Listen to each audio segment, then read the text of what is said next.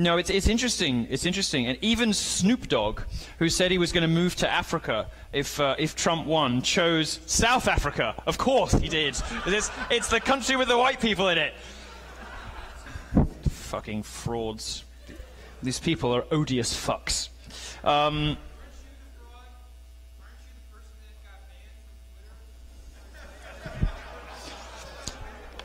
all right, pumpkin, let's go. Up you get. Now stand up and speak loudly. I'll try to get you a microphone. Where are you, Angel? Stand up. There you go, sweetheart. Yeah. Now, if you. I, I'm going to repeat what you say, so go ahead.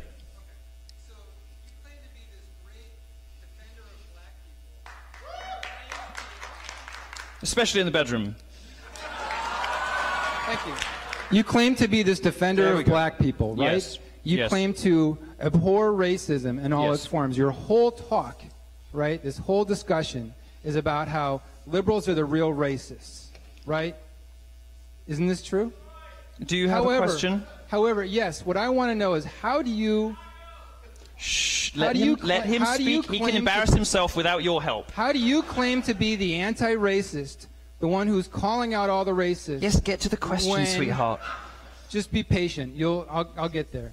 Okay. When you, when you're the one who I like incited your scolded. followers on Twitter to attack Leslie Jones, the star of Ghostbusters. Oh, Excuse me. poor Leslie. With with Poor a storm Leslie. of racist tweets. Okay, I think I compared her to a gorilla. I think I understand the Didn't broad, you? broad thrust of your question. My turn. Um, How can you how can you justify all this defense of uh, Black America and claim to be the savior of Black folks when there is not a single I'm not Black sure person quite said that. in this audience? You're in the largest. Oh, there's one. Oh, there's one. There's one. There's one. You brought one. You found one black person in the in a city that's the largest has the largest black population in the state to come in to come to your talk. So why aren't there more black people here if you're such a defender of Black America? All right, we have And two. explain We have. why you were banned from Twitter. We what have, was, we have two why don't you questions in there. We're going to address both of them for you. Thank you very much for your question. Thank you for listening to him relatively respectfully. Um, why don't you sit down, Poppet, and I'm happy to address both things. Um, stop it. Stop it. Alluding to me as some kind of viper about to strike. I'm going to be lovely. I'm going to be very nice. First of all, stop believing what you read in the press. What I did should uh, you should have picked this up by now from whatever terrible blog you read, whether it's Vox or Mic or BuzzFeed or or God, not Gawker anymore. Thanks God, thank God. Uh, sorry about that. Um, you should have picked up by now. The media doesn't always get everything right. For instance, the last election.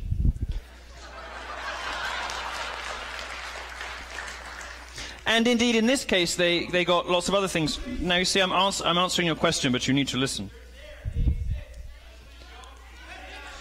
I wrote, um, as most of this audience will know, I wrote a, a very waspish review of the new Ghostbusters movie, which is total fucking garbage. Um, and I said so.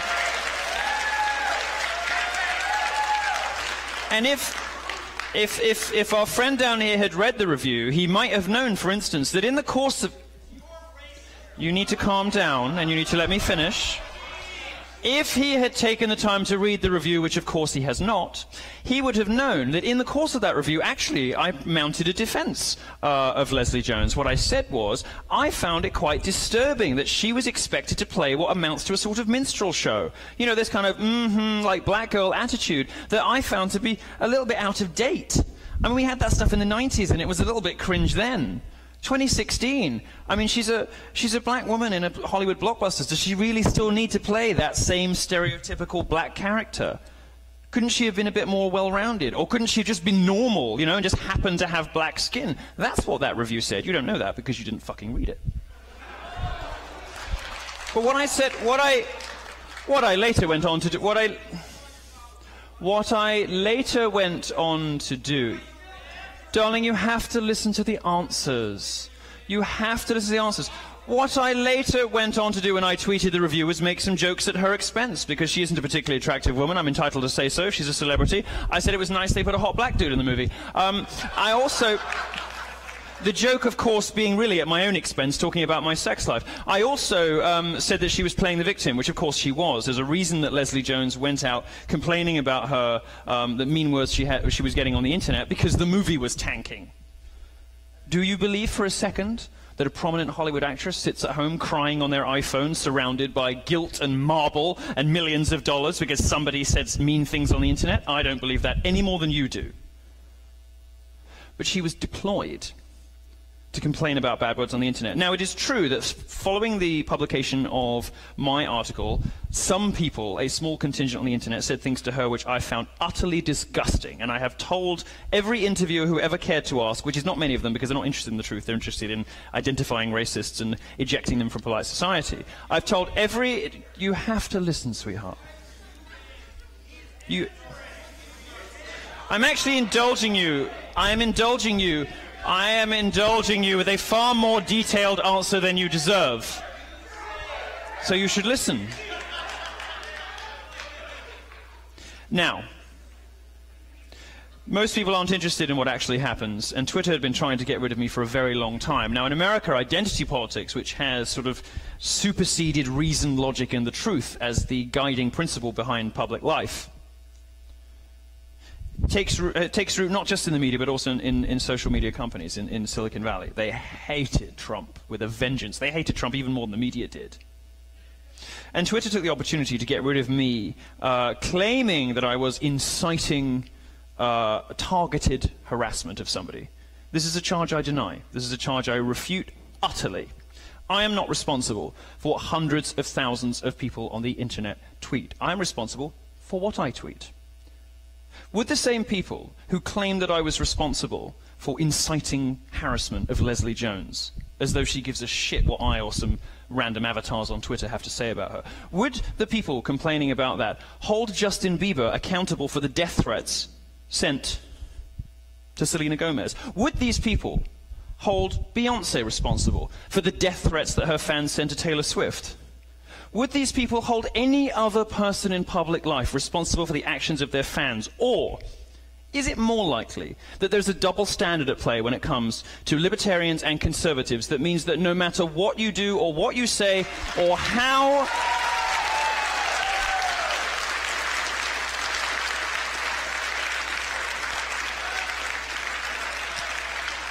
could it be that there is in fact a double standard at play and that they will, they will on the basis of no evidence whatsoever, and nobody could ever produce anything, ever, in the history of my journalistic career, and let me tell you they tried, could never produce a statement that could plausibly be described as racist. And most of the reports didn't even include the tweets that got me banned, the jokes at her expense, call it, because they were so funny that the journalists realized it undermined their case.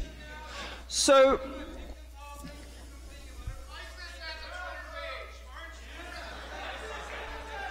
I'm not, I'm not able to hear you because you're, you're yelling again, but so that's, that's the answer to the first. That, oh dear.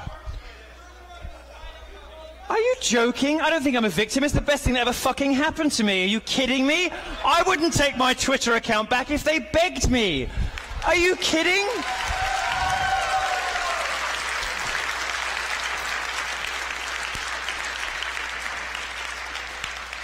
Never been so grateful to be censored. Not that I like it when they do it to other people, because I can take it. Well, I'm sorry for being popular.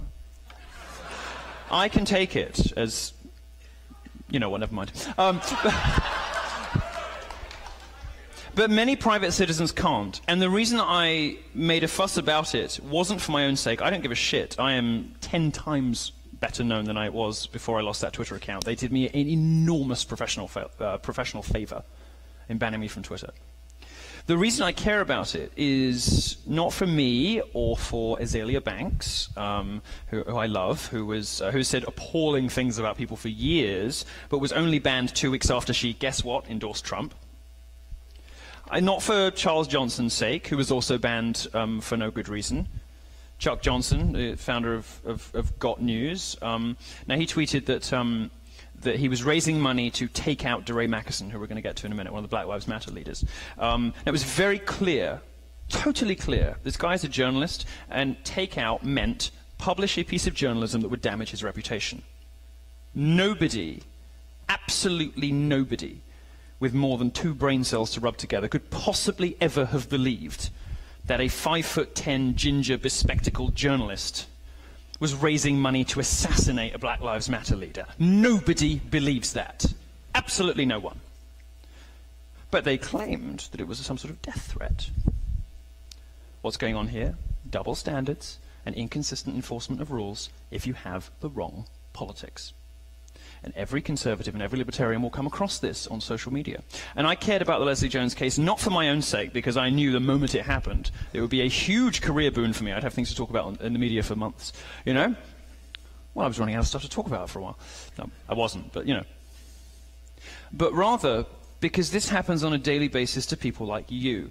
And nobody is going to write columns about it when it happens all you will discover is that you lose your Twitter account. You lose your voice. You lose your ability to express yourself. You lose your ability to, uh, to express perfectly respectable, reasonable, mainstream opinions that should be inoffensive to the majority of America, and you lose your ability to share your points of view with others because you have the wrong politics. And it's going to happen to you. It's going to happen to all of you. It's already happening on Twitter. I mean, there's now a concerted campaign on Twitter to get Donald Trump banned. You know, and uh, the media is kind of complicit with this. And Twitter has a long history of rolling over when it gets too much bad press from the left. It might happen. The network will go, will, the, the Twitter will, be, will die even faster if they do it. Imagine it, banning the president. But it might happen. And this tells you something about the stupidity and, and lunacy of Twitter and, and, why, why that happened. Um, let's move on, shall we? Uh,